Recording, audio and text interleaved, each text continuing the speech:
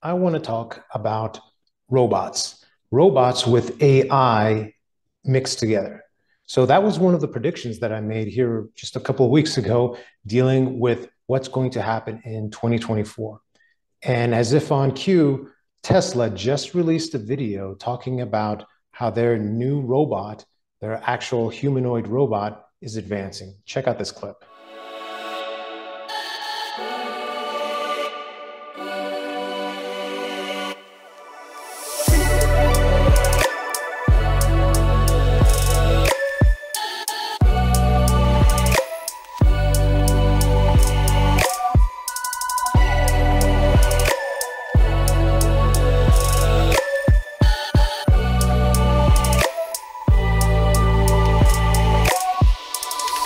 There's some very interesting things to notice about the robot.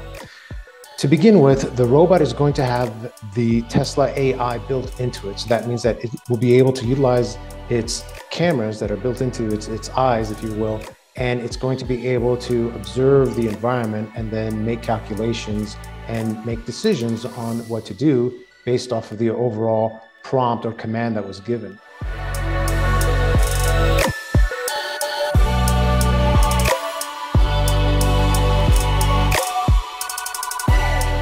So it can be programmed and used in many different ways.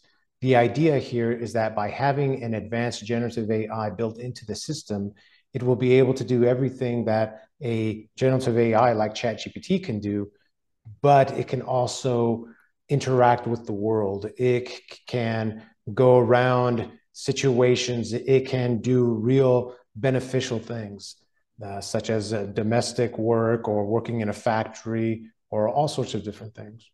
Now, the reason I bring this up is because I believe that this is really going to start to occur more and more in 2024, the utilizations of robots with AI in education.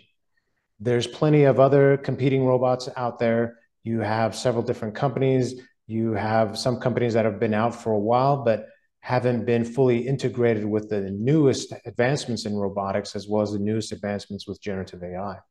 Once these two things come together, there's going to be limitless possibilities with what can be done. Again, I'm not pushing for the replacement of people in academia with robots. Uh, I don't think that's the answer. I don't think that's the, the, the positive way to use this.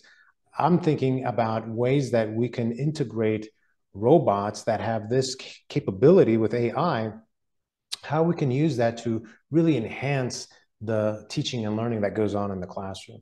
Imagine having this AI robot that you could break up your your classroom into maybe a couple of different sections so that there's different things going on in the class during classroom time. So this is kind of oftentimes referred to as the, the workshop uh, workshop class as, as far as a pedagogical technique. So you could have the robot working with some of your students in one corner. You could have students doing some um, maybe internet research or just AI research in general.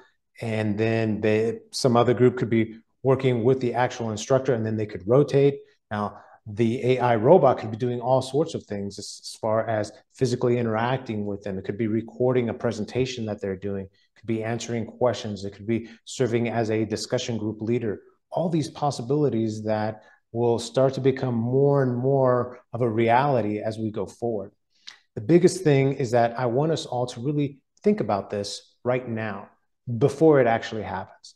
Because when it actually happens, that's when we're always scrambling for what do we do? Uh, is this uh, backed by research? Well, there's already a fair amount of research that's been done that talks about how using robots in education can be uh, very positive as far as uh, motivational aspects, but just instructional capabilities and how it's been used in the past to really enhance the overall teaching and learning.